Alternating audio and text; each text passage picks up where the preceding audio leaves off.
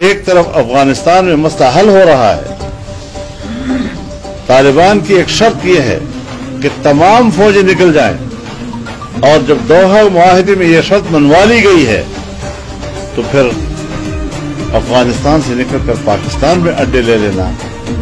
آپ بتائیں کہ یہ اس معاہدے کو کون سا رنگ دینے کی کوشش ہے؟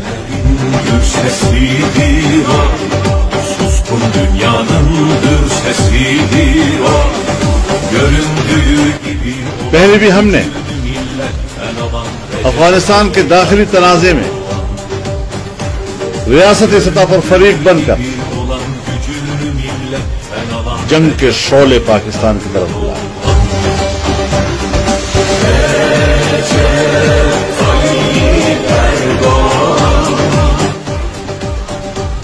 آج تک ہم ان شعلوں کو نہیں بجھا سکے ہیں۔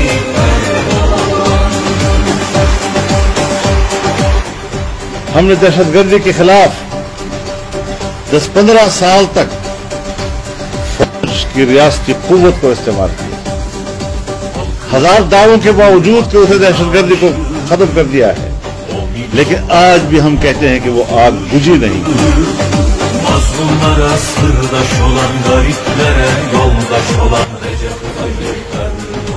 اب جب ہم پھر دوبارہ ان کو پاکستان میں اڈے دیں گے تو اس جنگ کو دوبارہ پاکستان میں آنے کی دعوت